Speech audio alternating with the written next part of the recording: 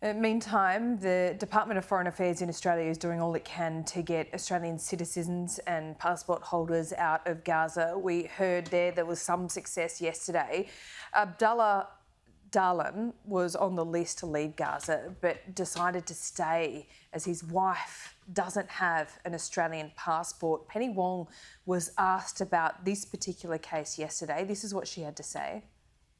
One of the reasons, uh, which is why I wanted to break the numbers up into different categories, you've heard me talk about in excess of 80 uh, Australians, is we were including Australian citizens, permanent residents, uh, and visa holders and their families because we're very conscious of people in this sort of situation. Shaher Dahlan joins me now. He is the son of Abdullah. Thanks so much for your time. Uh, first of all, it seems that DFAT and Penny Wong are well across this case. Have you heard from your father? Uh, thank you for having me. Uh, I heard from my father uh, last night. Yeah. Uh, he um, is, for the time being, okay, uh, but the situation really is a day to day proposition uh, no no one safe in Gaza is uh, is quite clear. Yeah, it is uh, patently clear, Shaher. So, when you spoke to your father yesterday, obviously you had uh, communication with him. Was there any update on um, from DFAT that he'd heard on getting him and his wife out? Uh, DFAT have uh, they've advised that they're in constant uh, communications uh, with the relevant authorities. Uh, they're speaking to the ambassadors in in Canberra, um, uh, the ambassadors for uh, Israel and Egypt. Uh, I've spoken to a number of consular officials in Ramallah and Tel Aviv. my understanding is that DFAT is doing everything in their power to ensure that Samah is included in the list of uh, foreign nationals who are entitled to leave the Gaza Strip. The, the main concern I have is that there was a ministerial order in place and someone at the border has seen fit to veto that order.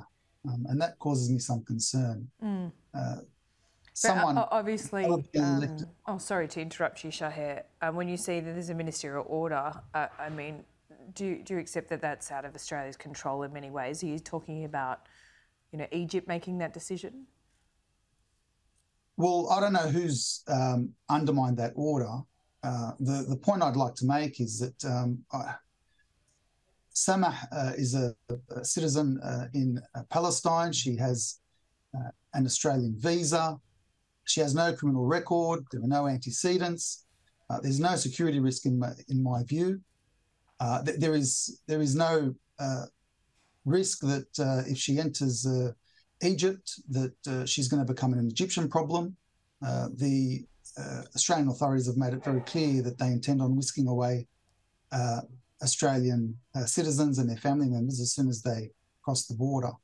So it just concerns me somewhat that um, someone other than an Australian elected official is making decisions about who may enter uh, into uh, Australian states and territories. And this is in no way a criticism of DFAT. Mm. Um, I'm just highlighting a um, um, an alarming situation there yeah. at the border. On so many fronts, Shaher. Can I just uh, quickly ask you, what circumstances did your father and his wife travel into to Gaza? Were they there on holidays? Have they been there for quite some time? Oh, look, Dad um, uh, is a retired school teacher. He spent most of his working life in Australia. Um, and earlier this year, he um, decided to go back and spend some time uh, in the uh, territories uh, where where he was born many years ago. Uh, this is his second Nakba. He was driven out of the land uh, when he was just a young child, and mm. as it turns out, he's now uh, witnessing the horrors of the current atrocities that are unfolding before the eyes of the the world. It's a very sad story. It um, certainly is. I, I yeah, I, would like to point out that Dad was faced with an impossible decision. Um, he was told that he could go through the crossing, but that unfortunately his wife was rejected, and he then had uh, he had to make a, a, decision. He was faced with a moral dilemma, and uh, effectively was torn between his sense of duty and uh, remaining with his wife, or in the alternative, returning to Australia to be with his children. Um, and he made what I thought was the right decision. Um, it was an act of chivalry that um, exceeds all expectations. I'm very proud of Dad, very brave. As you should be. Shaher, we hope for a great outcome for your family and that you see your dad soon. Thanks so much for your time.